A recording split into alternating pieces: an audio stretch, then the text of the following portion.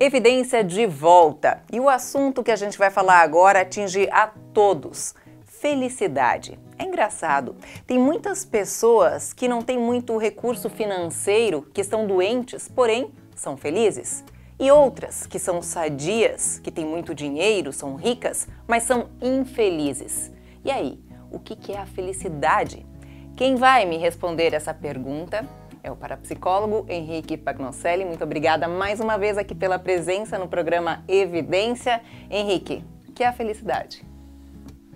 A felicidade, Susan, é um estado de espírito, é um jeito de viver, um jeito de ser, onde a pessoa se sente bem, sendo ela própria, sendo ela mesma, sem comparar-se. É, eu gosto muito de uma frase de Gandhi que diz o seguinte, que a felicidade não é o destino, é o caminho. Porque que às vezes as pessoas pensam o seguinte, quando eu tiver isso, eu vou ser feliz. Quando chegar lá, eu vou ser feliz. Quando eu vou me formar, eu vou ser feliz. Quando eu vou me casar, eu vou ser feliz. Mas está lá na frente. E o caminho para percorrer? Que é o caminho que se percorre para chegar nisso, ele é ignorado. Então nós podemos ser felizes desde já, sem perder tempo e sem adiar. E nós adiamos, a felicidade está lá. Então, nós precisamos conciliar o, o fazer, o ter e o ser. Quando nós conseguimos alinhar essas três uh, questões da nossa vida, nós podemos nos considerar pessoas felizes. De que forma alinhar? Acontece o seguinte, que as coisas se, se desafinam, se desalinham quando eu tenho, eu faço, eu tenho bens, eu posso ser uma pessoa bem sucedida, então eu vou fazer coisas para ter coisas para fazer coisas e vira um círculo vicioso. E se coloca a felicidade nesse ter, somente nisso. Aí não há uma realização da pessoa, aí há uma frustração. E o que a pessoa está buscando é a, a outra perna desse tripé, que é o ser. Eu me conhecer, eu saber do meu potencial, eu saber dos meus propósitos, saber do porquê que eu estou aqui, saber da, da razão da existência. Então, quando se alinham esses três pontos, que nós precisamos fazer isso diariamente, estar atentos a isso. Quando nós alinhamos isso, nós conseguimos harmonizar. E essa harmonização é um estado de espírito de bem-estar que nós chamamos de felicidade. O fato de reclamar muito, tem pessoas que reclamam o tempo inteiro.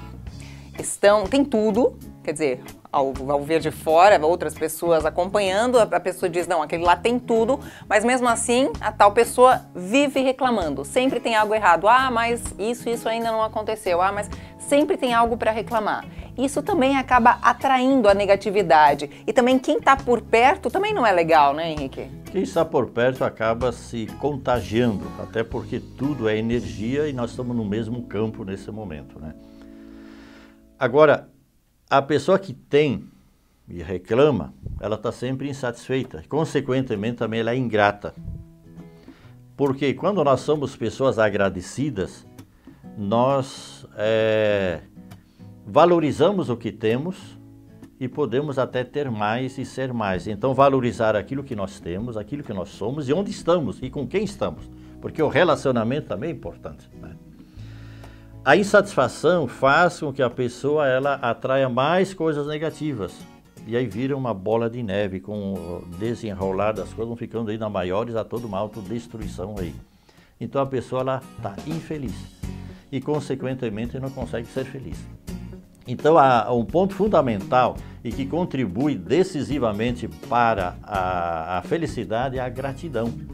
Porque quando nós agradecemos, valorizamos aquilo que temos, aquilo que somos e onde estamos, com quem nos relacionamos. Quando conseguimos essa proeza, essa harmonia, alcançando o nosso propósito, nós podemos dizer: estou bem, estou feliz e está dando certo. Então a felicidade não está lá, ela já está aqui.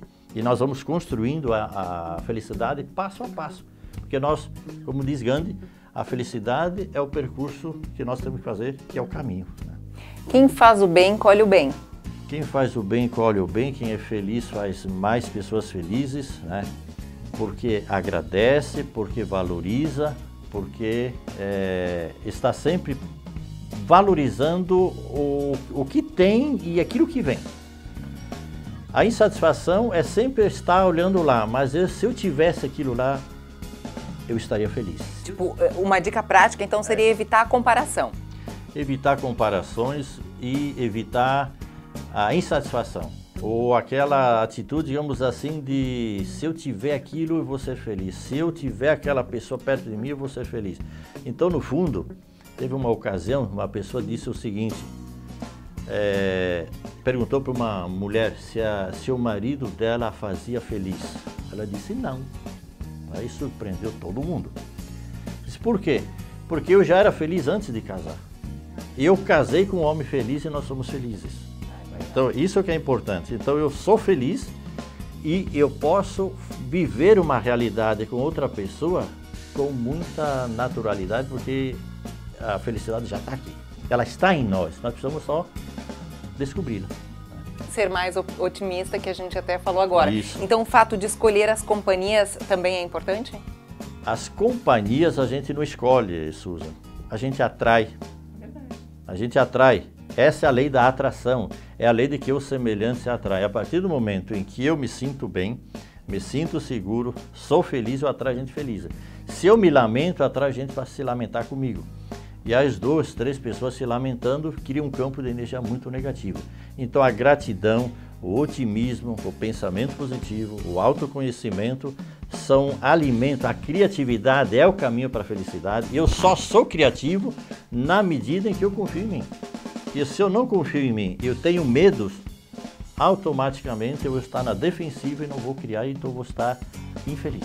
O segredo de tudo é sorria para a vida. Sorria para a vida.